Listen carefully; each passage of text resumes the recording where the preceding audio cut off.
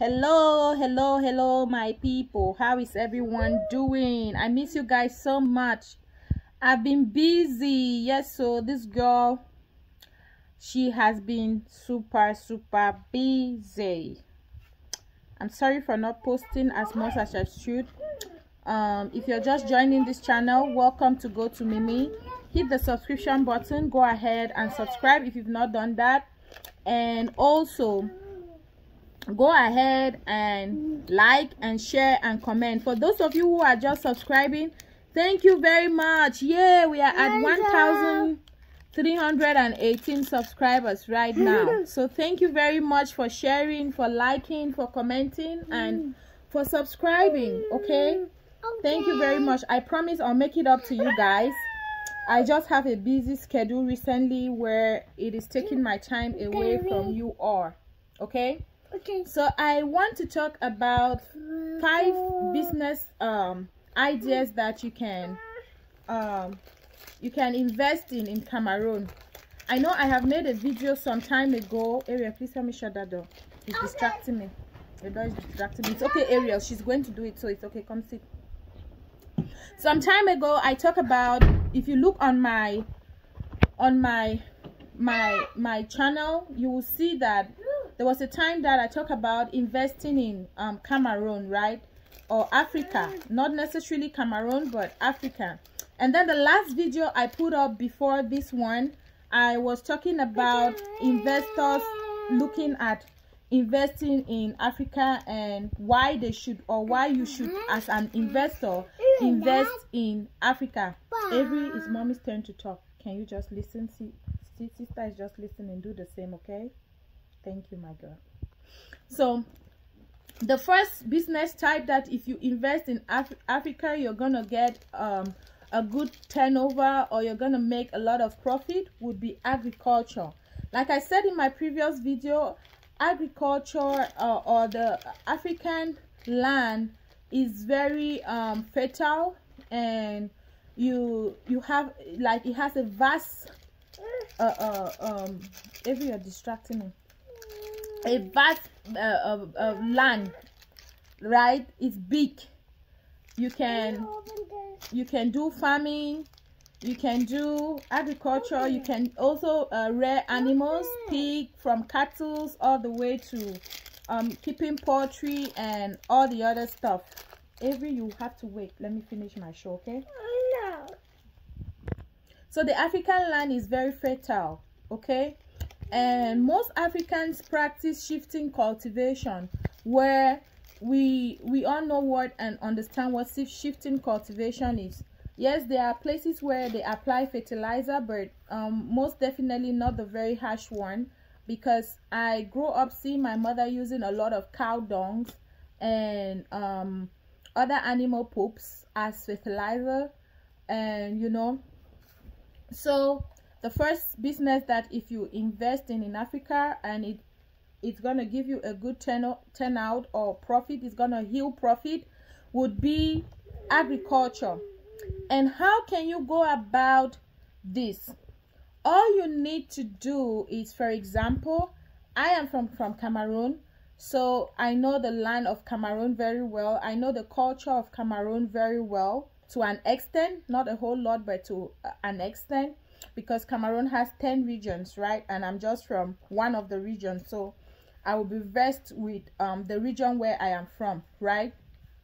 So what you can do as an investor or someone looking into investing back home what you can do or someone looking into investing in africa and i'm not speaking only to those who are from africa but for to anyone who is interested in investing in africa right so now if you choose agriculture maybe you choose farming for example um, you can pick a particular type of crop and you invest in that crop. Let's say you have a, a, a an investment capital of say ten thousand dollars right? When you convert that money to cfa francs it could give you about six million cfa francs depending on the exchange rate right? Or whatever currency you have it just depends on the exchange rate of the the country where you are choosing to do your agricultural um, investment or business right? And now you can you can begin by searching the market. What is the common cash crop of that country? Let's say you pick cameroon. What is cameroon's um cash crop or cash product that are kind of like really really uh, uh um really available or that is really in high demand by the people of that place because remember you are doing business in that place maybe you'll be exporting it down the road or your aim is to begin exporting it to other african countries and even maybe internationally. So if you are choosing agriculture you first want to check out the country and then take a particular region. Some crops will do well in some some regions or do better in some regions than other regions right so let's say for example you take um a place like um let's do ndop. For example i am from ndop. Ndop is known for rice rice cultivation and corn and peanuts. That's groundnut.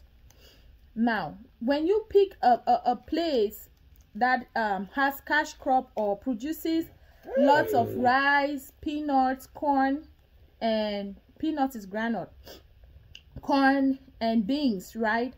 Now you want to um find a land meet somebody who is from that place right? You get a piece of land. Nowadays you can rent a piece of land for as long as you would be paying be able to pay and sustain the land right? You can rent a land or you can buy a piece of land. And then you look inside the place. Now they do rice peanuts um they also do corn and beans right? And even cocoyams and other products. But what ndop is commonly known for is for the ndop rice. That stands out a lot. Now if you pick to uh, uh, or if you choose to do or to to farm the to grow the ndop rice for for business what happens is after choosing your piece of land you get workers you get farmers that will, will do that. You hire a manager. There are so many graduates out there looking for a job you hire a business um uh, an mba graduate and put them in charge of that business while you are here and they are farming or doing the job for you while you are wherever you are right? And then you make sure that in your budget for investing you also have um, uh, you have put aside some money for um, salary for those who are working for you right? So today um i'll just give you this is just a tip of an iceberg. We'll talk about just this agriculture for today and then as the day goes by uh, goes by we will be talking about other um things where you can invest in right? So just find someone in any african country that you're most comfortable with. Check out the cash uh, the cash crop of the region where you want to um, do your um, farming investment or business. And then ask make a lot of re research. Do a lot of research before um, uh, uh, venturing in a business that you are not going to be present there.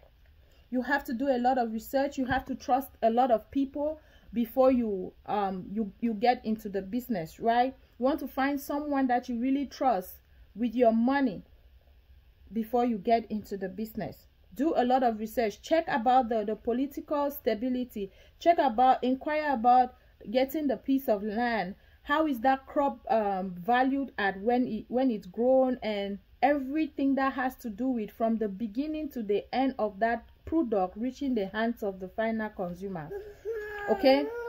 So today we talked about the first thing or the first idea to invest in Africa if you are an African or you're someone looking into investing in the future in Africa is agriculture. African land is is very rich right? And very vast too and it's fertile so and it's available by renting or by buying. Either way you can always secure yourself a very good piece of land. You choose your location and then you hire people that will work for you thank you very much keep an eye out for the next idea that you can invest in in africa and you will become a millionaire if you've not subscribed go ahead and hit the subscription button and turn on the notification bell so when i post videos you'll be able to see them Thank you very much. Be good to yourself. Be good to the people around you. What goes around comes Mhm. around. Bye. Bye bye. Bye. Bye bye. Bye. Bye. Bye.